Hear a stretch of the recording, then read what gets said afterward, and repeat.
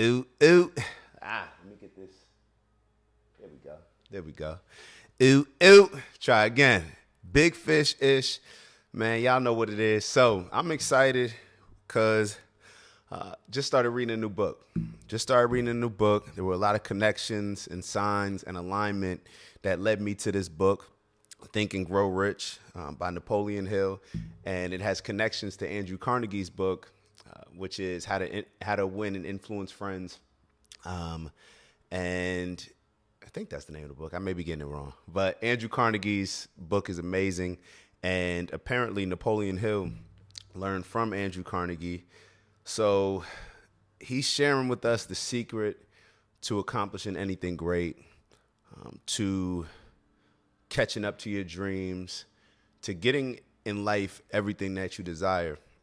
And I wanted to just touch on the first two top the first two chapters because I'm reading it and to be totally honest, this is probably the case with most people that read the book, but you start to realize certain stuff that you've done in your life in areas that you've been successful and what this book provides is validation. You know, you had the evidence that you went through in life. And shout out to my boy G Mitch. Uh, he's got me running in some. He got me. He got me competing, back competing athletically. I got to touch on that with y'all too on Saturday. But G Mitch, he shared something with my brother and I, and the takeaway that I had from it was that confidence is simply a result of evidence. Work to build the evidence, and then the confidence will come. The evidence of things, that's the proof. That's the proof that we're great. You want confidence to walk around that you're great? Do great things. And to do great things, you got to do the little stuff. You got to be consistent. You got to be disciplined. You got to be focused. You got to sacrifice all these different things. That's going to build the evidence that is then going to turn into confidence um, in yourself. So, there's a lot of connections to be made. Um, so this book definitely validated a lot of the evidence that I've seen in areas not only in which I've been successful, but other areas in which I haven't been successful, uh, because the same rule applies to both. Um, and I'm not going to share with y'all the exact rule because I got to get through the book first, and they don't just come out and just tell you it. Um, however, I've picked up on it. I've picked up on it. I have it in my head. I understand it. Um, but like the book said, it's better when you just pick it up um, as you go through rather than them just coming out and saying like, "Hey, this is the rule." The impact won't be the same. All right, you gotta you gotta sacrifice. It's like paying for something. You gotta you know pay your dues in order to get that return. So, Think and Grow Rich by Napoleon Hill. The first chapter is just an introduction, but the second chapter is on desire. And in the first two chapters, they focused on a story that actually led, that I was told. I didn't know that it was from this book. And maybe it's a well known story, but it's something that uh, Michael Pinball Clemons told us in college uh, before our UVA game, the start to our senior season. And he was telling us this story about this warrior that, or general, you know, army leader, was getting ready to go to battle and their army was a lot smaller than the army that they were facing, and they had to go on enemy territory to fight the battle. So they took the boats to the enemy's land, and I guess normally you would leave the boats there, you know, just in case you need to retreat, just in case you, you know, uh, change your mind and want to get back home, whatever it may be. And Pinball told us you know, I'm kind of giving the story both from the book and what Pinball told us.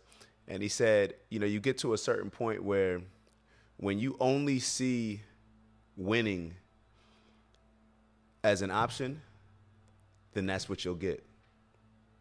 When you're willing to risk everything in order to win and you have the desire and that's those are the only thoughts that we have in our head because thoughts become actions, right? Then what you think, what you believe, if you believe it enough, is going to happen.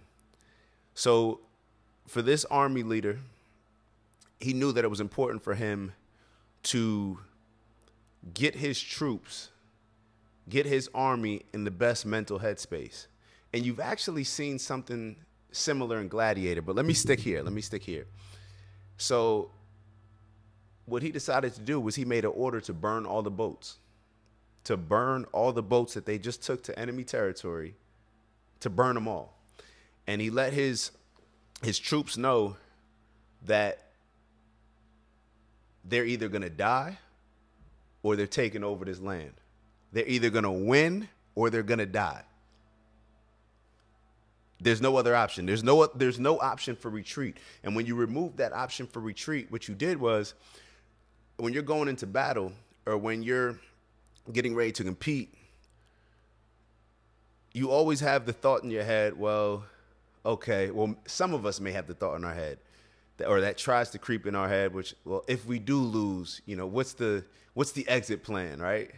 You know, if I do lose, how can I, you know, still walk away as whole as possible? He removed all of that. So the only focus was to put any and everything, all the focus, discipline, determination, desire, put it all into we are conquering this army and this is our new home.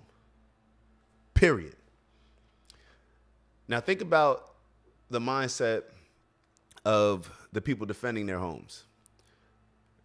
Don't know what it was, but I'm sure, you know, they had proper motivation to defend.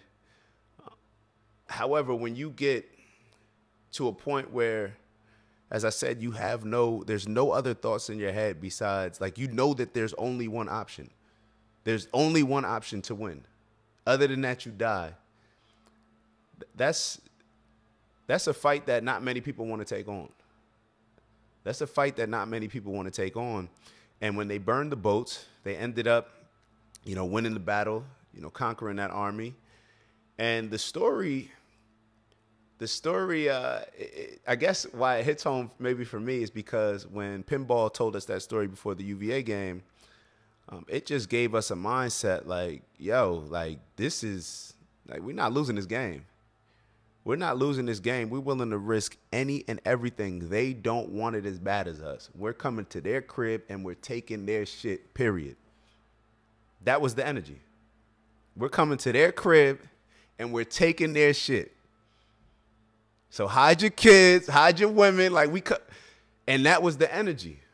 That was the energy that everybody bought into.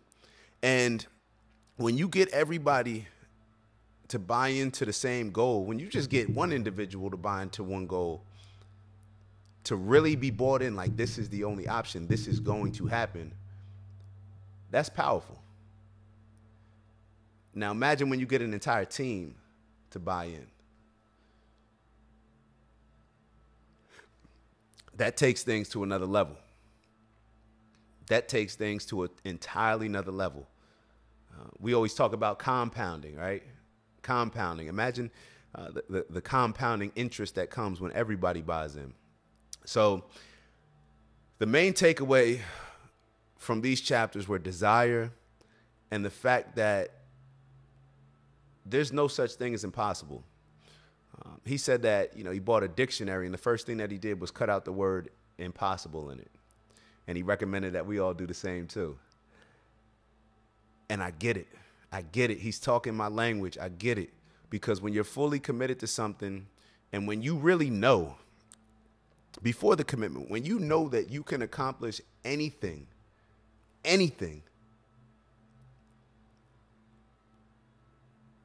then all you need to do is apply that mindset to whatever plan or task you're looking to accomplish. And once we do that and we have it in us to sacrifice whatever it takes to accomplish that particular goal, to win, it's done. It's already done. It's already happening. Now we just got to see it happen in in real life because we've already seen it happen up here. We've already planned it. We already got everything that we know that we need. We know that we're willing to sacrifice. We everything is done. It's like how you always talk about not how you always, how I always talk about, I guess, with sports, but you always hear um, the greats talking about the games are easy. You know, the practices, the preparation, that's what's difficult. The games are easy. The games are easy, and all this stuff. It, it all kind of plays around the same principle that if desire determines everything, desire, will, grit, hunger, de- determination, all these different things, that determines everything. And a lot of times we put ceilings over our head, um, both literally and metaphorically, that prevent us from growing. It's like the plant. You know, you put the plant in a bigger pot, it's going to grow bigger. If you put the fish in a bigger tank, it's going to grow bigger. If you put the human in a more positive environment, it's going to grow better. But what what decides whether or not we're going to accomplish something great or or whether or not we'll just be a failure and stop when things get hard? Uh, because there's another story that maybe I'll touch on later on as far as, you know, he was highlighting, you know, how most of the people that a lot of the success, most successful people in the world, um, they all talk about they achieved their greatest success. That moment came right after perhaps one of their greatest temporary failures or losses. An opportunity brewed out of that. And they just had the will, the desire, the strength to just keep pushing. So, a lot of times we're looking for you know, a secret formula.